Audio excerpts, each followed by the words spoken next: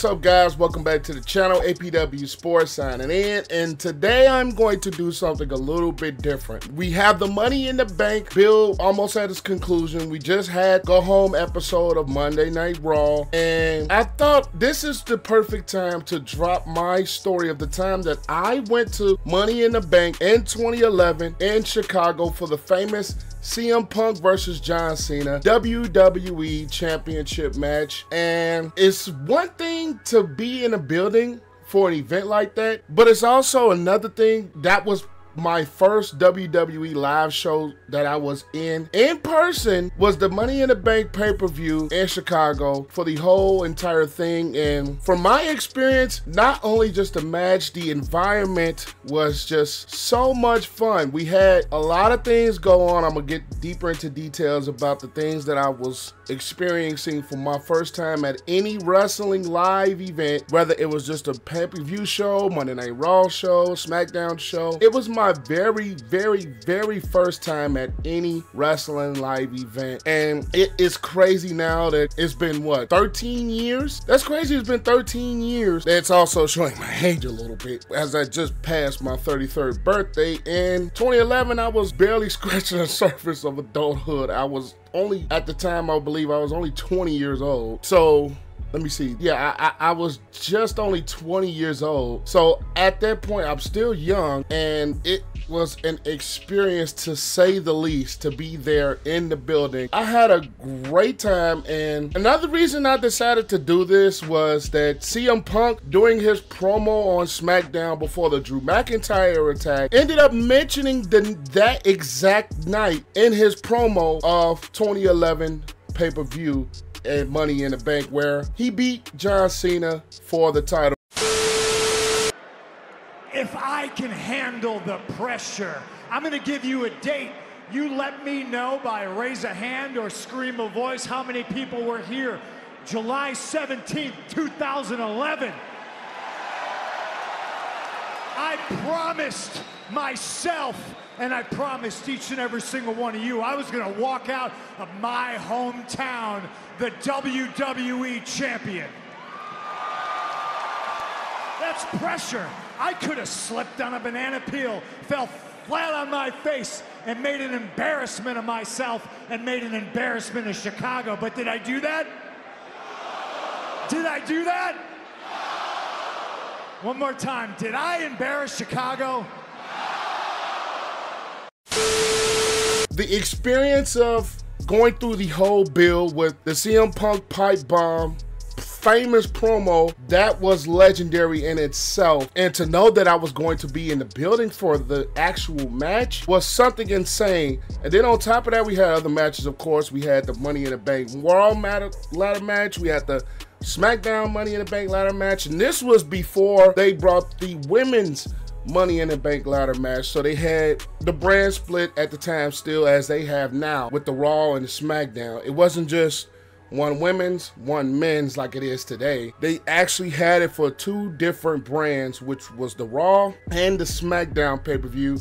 We also had the World Heavyweight Championship match between Christian and Randy Orton. And you had a Divas Championship match. This is showing a little bit how old this was and how old I am. And it was called the WWE's Divas Championship. It wasn't the Women's World Championship. It wasn't just the Women's Championship. This was back when, uh, let's just be honest, the Divas era, to me, at least to me, wasn't necessarily the greatest and this will show a little bit in my story. And they actually had a dark match. This was Santino Marella and Vladimir Kozlov versus the new Nexus. This was the this was so long ago. They had a Nexus with Otunga and Michael McGillicutty, aka Curtis Axel. That was the dark match. Now, I will be 100% honest. I don't remember too much about this dark match other than it was just a match that happened. I remember it happening, but I don't remember too much about it now. We had the Daniel Bryan actually winning the SmackDown Women's SmackDown ladder. I said SmackDown Women's, Lord Jesus.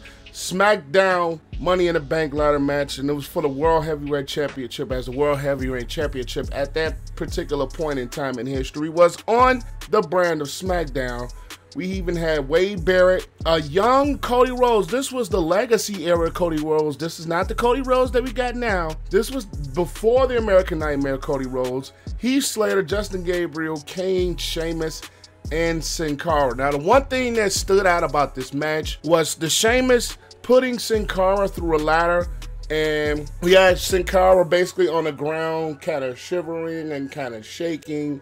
I don't know if that it was just like like a seizure almost like moment. He ended up being taken out on a stretcher. Now being there for that was just for that little spot in that scene was just crazy. Um it was one of those things where you see it in person it means so much different than seeing it on live tv and the way that that match was set up it was a beautiful match. It was a very good match. And I think at the time, Daniel Bryan was the guy that before the whole Yes movement that he was still a very good competitor, very good wrestler. So that was a good match. Now the Divas Championship match, it was between Kelly Kelly with Eve Torres at his side versus the Bella twins, Brie Bella and Nikki at his side. And I'm going to be 100% honest with you. This match was boo boo. The women at this point, I think at this time, was just a lot of it wasn't what it is today when you have people like a Mercedes Moné, aka Sasha Banks, or Be Becky Lynch, or Bayley, or Rhea Ripley, or Liv Morgan, or Zelina Vega, or women of that nature, Nia Jax. You didn't have those same women, I think, of wrestling ability at that time. And to be honest, for most people in the arena in that night, it was a bathroom break. I will be honest. I saw a lot of the match from a TV screen because honestly, I had to go to the bathroom too. so it was more of a bathroom break for me. Bella ended up, well, Brie Bella ended up losing to Kelly Kelly, and the match wasn't really a very long match. It was just one of those, we got to throw one in there to give the women some love. At that time, it was just different era in women's wrestling, and to be honest, I'm so glad this came so far because women wrestling then was just bun. So it is what it is, but the next match was the Mark Henry versus the Big Show. Another match that it wasn't necessarily great, but it told a story with Mark Henry. He was on that Hall of Pain run where he ended up capturing the World Heavyweight Championship, and I cannot remember off the top of my brain was that after this match, but he ended up capturing the World Championship in this run. So I think it was the height of Mark Henry. It was the peak, I want to say, of his career where he was just on a dominant train. And then on top of that, after the match, he ended up having a chair in between Big Show's leg and he ended up sn basically snapping his leg.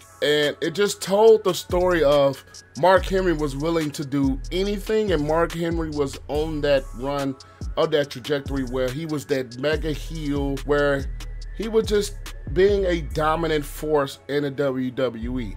And then we had the Money in the Bank Raw's ladder match. It was Alberto Del Rio coming out with the victory with Rey Mysterio, Alex Riley, Evan Bourne, Jack Swagger, Kofi The Miz, and R-Truth. Another very good match.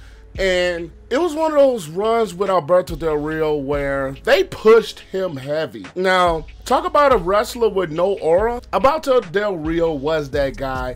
Even at this point, like you have heels that you like, you have heels that you root for. Alberto Del Rio was just eh to me. He wasn't really that great to me. This was another good matter match. It had a couple of spots. Now Jack Swagger, that, that he was funny. Kofi Kingston I, and the Miz with the Alex Riley situation. R-Truth. It was just a very, very good match. I was personally rooting for Kofi at the time, and or Rey Mysterio to finally get a shot at a WWE Championship which he ended up winning later. But at the end of the day, I was not rooting for Alberto Del Rio. Now we have, I mean, the Christian and the Randy Orton match, it was a very, very good build, in my opinion. Christian with the whole, he had one more match, one more shot, and he ended up winning due to the, the, stipulation that if Randy Orton got disqualified, he would end up losing the title. And it was a low blow after Christian spit on Randy Orton. And the arena during that match, uh, mainly in the after parts of the match where Christian basically got RKO. I want to remember twice on the announce table. It was electrifying part of the night. One of those matches where you just knew that it was just going to find a way for Randy Orton to get disqualified. Watching it live in the building was just a totally different. Or the thing about this match, it wasn't necessarily a lot of rooting interest of the night because, of course, we had the CM Punk and Cena match, but at the end of the day, that was just one of those matches where it was still a very good show. It was on Christian's run as he was finally looking for that World Heavyweight Championship that kind of escaped him throughout the course of his career. And then we had the Edge that I want to, if I remember right, it was the same year that Edge had had to call it a career because of the neck injury. It was one of those things where Christian wanted that opportunity too, and that was a lot of the bill. But for the main event was the Cena versus CM Punk match. Now, this is the part of the night that stands out in my brain the absolute most because we all know it was the biggest part of the night. CM Punk being a guy that's from Chicago, and I'm a Chicago guy myself, so that's one rooting interest. John Cena being the big star at the time. WWE champion at that time. And the stipulation of this match, because of the whole CM Punk contract situation, the whole pipe bomb situation, whole Vince McMahon was trying to offer him a contract before the actual match. And the stipulation was if John Cena had lost this match, he was fired. Now, I want to start off a little bit of the interest because this was the last interest before CM Punk ended up switching his theme song to Cult of Personality. This was still the Fire Burns theme that CM Punk was using at that time. So this very night was the very last night that CM Punk actually used that as his theme song. The arena for CM Punk was it, we it was almost we blew the roof off of that place because everybody was so in the interest of CM Punk. It was so many if Punk loses, we riot signs. It was so many CM Punk different variations of signs in the building that night. And I have a funny story to tell about that. It was, I think it was a couple sitting, I can't remember how many rows in front of, it was me and my brother at the time. I forgot to mention that. That it was actually me and my older brother that actually went to this. It was a funny story that it was a couple that was sitting in front of us. He was rooting for CM Punk and she was rooting for John Cena. I don't know if this is their date night or whatever, but it was funny because she was like, if CM Punk wins, you ain't getting none. And we all know what that means. If CM Punk wins, you ain't getting none. And the first thing I look at, I look at my brother and I'm looking around. We all trying not to laugh. And we looked at him like, well, you might want to switch that around, sir. it was just funny that she really said that to him out loud. And everybody around in the seating area heard it. It was absolutely hilarious. But the interest for CM Punk was absolutely legendary. The crowd really just exploded. The crowd was on his feet. The crowd was cheering so loud. I was one of them. It was just an aura of the night when CM Punk walked in that building. He came out through the entrance ramp. It was just like the house was basically torn down. Basically, when he came out, sat in the middle of the ring, even had tears in his ass during that point. And it was just one of those moments where you really had to be in the building to experience something of that nature, something that was electrifying and loud. It was almost loud like if the Bears had won the Super Bowl. It was loud like if the Bulls had won the NBA championship, the White Sox had won the World Series it was loud in that building. And it was another thing that they, I think at this era, they didn't do the announcements after the wrestlers had made the entrances in the ring like they do nowadays, especially for championship matches where the ring announcer will announce them. Well, Samantha Irvin now would announce them after the wrestler made those entrances. This was the era where they were still announcing them regularly as they came out. And one thing I can remember when CM Punk came out, it was loud. And when John Cena came out, that arena was so loud with boos. Of course, the TV audio is not going to capture the audio as good as it would as if you were in person. But from my experience and my standpoint, when John Cena came out, that arena got so freaking loud with boos. And I mean loud that it basically if you had to be in the arena, it drowned out. I cannot remember if it was Tony Chimel or Justin Roberts announcing at that time. The arena got so loud with boos, you did not even hear them announcing John Cena. And you could tell the Cena had a different aura that night as he didn't usually make that usually run to the ring entrance. It was so different that night because of the stipulations, because of what was on the line, and also because of the whole Chicago aura. But that match, I believe it is one of the greatest matches in WWE history. You have the Shawn Michaels Undertaker match at WrestleMania 25. Off the top of my head, you had Undertaker Triple H Hell in a Cell. You had this past year's Cody Rhodes versus Roman Reigns WrestleMania match. And you had Stone Cold versus The Rock at WrestleMania 17. You had a couple of different matches where the match was just off the charts great and it was so much of a blessing and so much of an experience to be in a building for that match it was so back and forth with Cena hitting the AA, Cena in STF. It was CM Punk and the Anaconda Vise, which I had, well, he hasn't wrestled in a while, so I haven't seen him really use it that much. And then he had to go to sleep. She had so many offensive moves for both guys in each side, each of the match.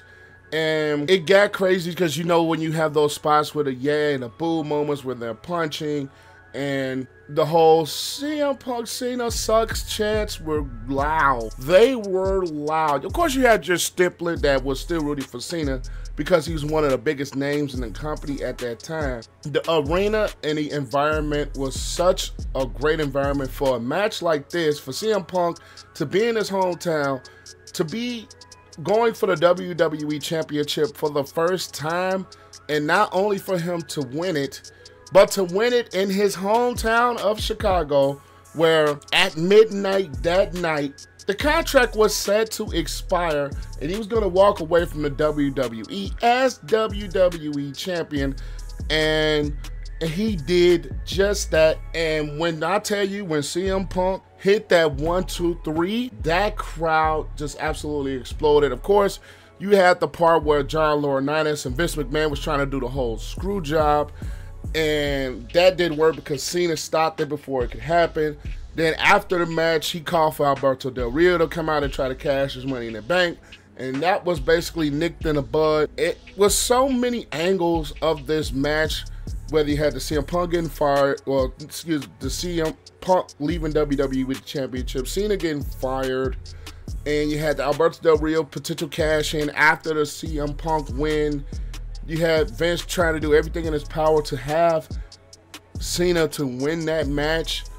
The environment of this match was absolutely nuts and crazy. And one thing that the TV cameras didn't capture because I ended up going back and watching this recently. And one thing that the TV audience did not see, the TV cameras did not capture, was us as an entire audience went to sing nah nah nah nah hey hey goodbye to Vince as CM Punk was crawling through the crowd celebrating his WWE championship win.